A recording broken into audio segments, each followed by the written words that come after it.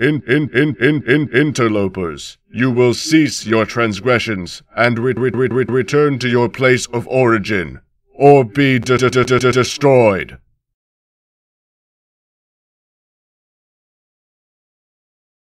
They were very angry, but somehow delighting in that anger. They wore spiked armor decorated with a red and black circle. This is very disturbing.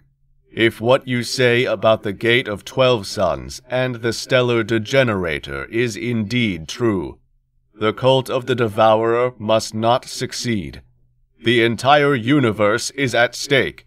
You must continue with haste to stop them. While I am technically programmed not to interfere in the discovery of this megastructure, such destructive power cannot be loosed on the galaxy. I can offer you a modicum of aid if you so desire, but you must not fail.